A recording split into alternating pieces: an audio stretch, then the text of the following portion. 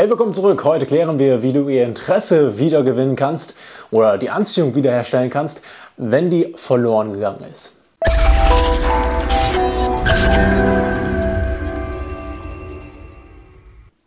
Also, schön, dass du wieder da bist. Eine Frage, die ich häufig bekomme, wie kann man das Interesse zurückkriegen? Wie ähm, kriege ich sie wieder? Die Frage geht auch so ein bisschen in dieses Thema, wie bekomme ich meine Ex-Freundin wieder? Wie kann ich ihr Interesse wiedergewinnen?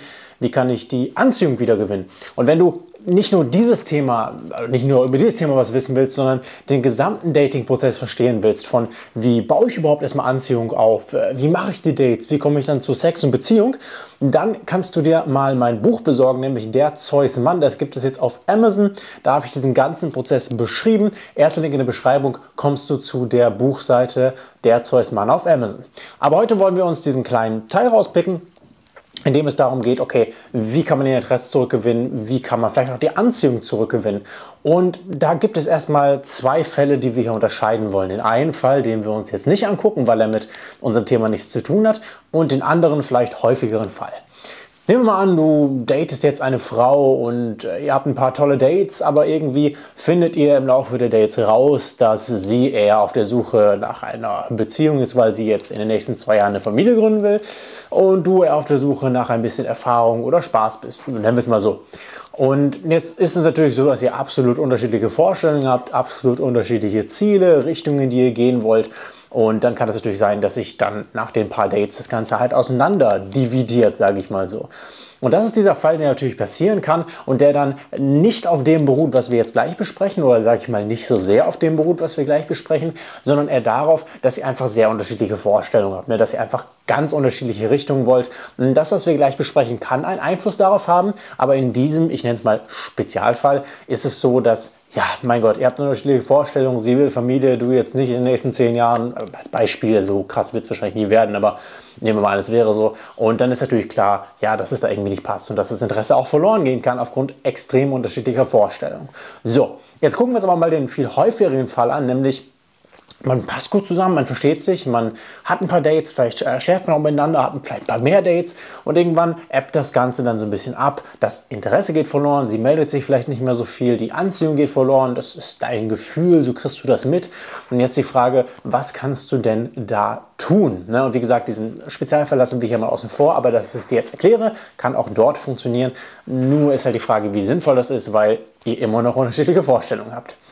Was du verstehen musst oder einer der häufigsten Gründe, warum das Interesse dann verloren geht auf Seiten der Frau, ist, dass du als Mann zu verfügbar bist, dass du immer da bist, dass du keine, ja, dass keine Spannung mehr da ist, dass du einfach ja zu viel auch teilweise für die Frau machst. Und das ist sehr, sehr stark verankert hier in unserer Gesellschaft, dass wir das Gefühl haben oder auch gelernt haben, hey, ja, wir müssen uns voll um die Frau kümmern und äh, immer für sie verfügbar sein und wenn sie schreibt, immer sofort antworten und dies und das. Und äh, ich sage, Treffen mit meinen Freunden ab, um die Frau sehen zu können. Mm, das spielt alles auch rein in diese Nice Guy-Symptomatik, äh, über die wir in den letzten Videos geredet haben. Aber was du grundsätzlich verstehen musst, ist, wenn Anziehung am Anfang da war oder großes Interesse da war und es dann verloren geht, dann kann es oder liegt es auch in vielen Fällen einfach daran, wie gesagt, kann auch an dieser anderen Sache liegen, aber liegt es in vielen Fällen auch einfach daran, dass du ja zu schnell zu viel wolltest. Da gehe ich auch im Buch der Zeusmann noch genau darauf ein als jetzt hier im Video, aber hier einfach mal die Sache angerissen, du wolltest zu schnell zu viel. Also geh einfach ein bisschen entspannter an die Sache ran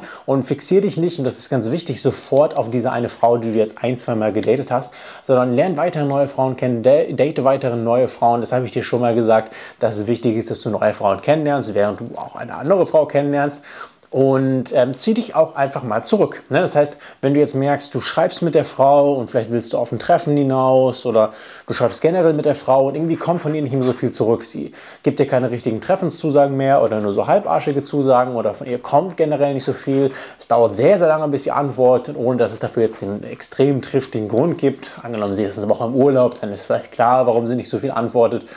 Ähm, aber allgemein, und das ist interessant, Männer genau wie Frauen haben ein sehr gutes Gefühl dafür, wenn diese Dynamik sich ändert. Also du wirst es wahrscheinlich mitkriegen, ganz instinktiv es spüren, wenn sich da was ändert und das Interesse bei ihr verloren geht. Und ähm, Dann beobachte einfach mal dich selbst oder schau einfach mal auf dich selbst und guck mal, okay, wie sehr bist du denn in dieser Beziehung? Bist du vielleicht zu tief drin? Machst du zu viel? Bist du immer verfügbar? Ne? Gibst du zu viel Preis? Bist du da einfach die ganze Zeit da? Dann ist es jetzt an der Zeit für dich, dich einfach ein bisschen zurückzuziehen und deinen Fokus wieder auf andere Sachen zu lenken. Denn oft passiert es, und das kennst du vielleicht auch aus deinem eigenen Freundeskreis, oft passiert es, dass ein Mann, der in eine Beziehung kommt, zum Beispiel seine Freunde vernachlässigt oder andere Lebensbereiche vernachlässigt, weil er sich denkt, oh mein Gott, jetzt habe ich endlich hier diese Beziehung gefunden und endlich die Frau meines Lebens gefunden oder was auch immer und jetzt muss ich da wirklich alles rein investieren. Aber die Frau möchte gar nicht, dass du alles in sie rein investierst. Die Frau möchte, dass du ein Leben hast. Die Frau möchte auch Teil deines interessanten Lebens sein. Die Frau möchte Teil deines Projektes sein, Teil deiner Mission. Da ist es ganz wichtig, dass du eine Mission hast und ein Leben hast und dass du dich kümmerst, ein Leben außerhalb dieser Beziehung. Und das ist ganz, ganz wichtig, damit die Frau dich auch vermissen kann. Denn es ist ja klar, ich kann niemanden vermissen, den ich die ganze Zeit verfügbar habe. Ne? Also das kannst du dir vorstellen, wenn du jetzt einen Kumpel hast, mit dem du jeden Tag schreibst und jeden Tag telefonierst, dann kannst du ja auch gar nicht an den Punkt kommen, diese Person mal zu vermissen. Denn es geht ja gar nicht. Da gibt es ja gar keinen Abstand, der da entsteht. Und dieser Abstand ist eben wichtig, um auch ein bisschen Interesse und Spannung zu halten. Da haben wir auch in den vergangenen Videos drüber geredet. Und deswegen ist es ganz wichtig, dass wenn sowas passiert, du dich auch wieder umfokussierst auf andere Sachen in deinem Leben. Ja? Mal nicht so viel Zeit in die Frau investierst und dann wirst du merken, das muss nicht hundertprozentig so sein, aber du wirst wahrscheinlich merken, dass auch die Frau spürt, da ändert sich was. Okay, jetzt hat sich da die Dynamik geändert, er ist nicht mehr so verfügbar und dass die Frau dann ganz automatisch wieder mehr in die Beziehung investiert. Es kann natürlich sein, dass du es schon bis zu einem so krassen Punkt gekippt hast, dass die Frau sehr froh ist, wenn du dich dann nicht mehr meldest, weil es einfach viel zu viel war. Aber es ist wirklich so, dass in, ja, ich sag mal, 80 Prozent der Fälle Männer die Frauen einfach zu sehr chasen, also jagen, einfach zu sehr reingehen, zu viel andere Dinge vernachlässigen. Und du musst verstehen, dass wenn eine Frau dich interessant fand, äh, gerade im Hinblick auch auf eine Beziehung, dass sie wahrscheinlich dein ganzes Leben interessant fand oder auch vielleicht dein Ziel, deine deine, deine Mission, deine Vision von deinem Leben interessant fand, dich als Mann interessant fand. Und das verlierst du eben, wenn du den Fokus voll auf die Frau legst. Und ich weiß, das wird uns so beigebracht, das hören wir immer wieder, aber mach das nicht. Tu dir, der, also tu dir und der Frau etwas Gutes, indem du dich umfokussierst. Und das kannst du auch, diesen Fokus, das solltest du von Anfang an so machen. Also du solltest von Anfang an so im Kopf haben, okay, Klar, die Frau kriegt meine Aufmerksamkeit und wenn ich mit der Frau bin, dann bin ich auch vollkommen mit ihr, mit meiner vollen Aufmerksamkeit, absolut klar aber ich fokussiere mich auch auf die anderen Dinge, die sind genauso wichtig. Ich bleibe bei diesen Sachen, investiere da genauso viel Zeit rein und das ist das, was auf Dauer so die Balance halten wird in der Beziehung mit der Frau. Und wie immer, wenn ich das sage, meine ich mit Beziehung nicht nur eine, eine Beziehung, Beziehung, sondern auch eben was rein Sexuelles. Ne? Das ist, das, diese, diese Symptomatik, diese Systematik funktioniert überall gleich. Denn wir Männer tendieren dazu, da spreche ich auch im äh, Buch genauer drüber, wir Männer tendieren dazu, uns, ja, ja, schneller zu verlieben oder schneller mehr in die Beziehung zu investieren. Und ich erkläre das ganz genau im Buch, aber es gibt so eine Art ja, Breakpoint im Sinne von am Anfang investiert sehr viel der Mann bis zu irgendeinem Punkt, wo dann die Frau auch spätestens in der Beziehung dann anfängt ein bisschen mehr zu investieren. Ähm, aber sei einfach, äh, pass einfach auf, dass du am Anfang nicht das volle Investment fährst, sondern konzentriere dich auch auf andere Sachen. Und ich meine hier gar nicht damit, okay, du darfst dich nicht auf die Frau fokussieren. Das ist nicht der Punkt. Aber die meisten Männer haben doch die Tendenz dazu, sich auf ungesunde Weise auf die Frau zu fokussieren, sodass sie ständig über sie nachdenken und dann andere Sachen dafür vernachlässigen. Und wenn du in diesem Zustand bist, und da kann man schnell hinkommen, dann weißt du, dass es eine problematische Situation ist. Wenn du nicht in diesem Zustand bist, wenn die Frau nicht die ganze Zeit deine Gedanken okkupiert, na, dann ist es vielleicht nicht so wild. Ne? Wenn du einfach die Treffen mit der Frau ausmachst und wirklich dann, wenn du mit der Frau bist, dich auf die Frau konzentrierst, aber ansonsten an deinem Leben arbeitest, was auch immer das für dich heißt, dann ist eigentlich alles in Ordnung und dann wird die Frau auch spüren, dass du sie im Grunde nicht brauchst und das ist das, was die Frau, das möchte die Frau spüren. Die Frau möchte natürlich, möchte auf einer Seite von dir gebraucht werden, aber möchte auch das Gefühl haben, du bist nicht abhängig von ihr. Ne? Also die Frau freut sich natürlich, wenn, du, wenn sie ein wichtiger Teil deines Lebens ist und die wichtigste Frau in deinem Leben, absolut. Aber auf der anderen Seite möchte die Frau nicht, dass du abhängig von ihr bist oder bedürftig bist. Ne? Sie will nicht so eine Mama-Sohn-Beziehung. Deswegen, wenn das Interesse verloren gegangen ist oder die Anziehung verloren gegangen ist, dann hat es immer meist viel damit zu tun. Und probier einfach mal, wenn Anziehung oder Interesse verloren geht, dich ein bisschen zurückzuziehen aus der Sache und damit gibst du der Frau auch den Raum, ein bisschen hinterherzukommen. Ne? Du kannst dir das genauso vorstellen. Es fängt hier an in der Mitte vielleicht. Und dann ist es so, dass, naja, ähm, die Frau ja, vielleicht ein bisschen weiter nach hier geht und du fängst an, sie hinterher zu jagen. Ne? Das du bist hier und fängst an, hinterher zu jagen.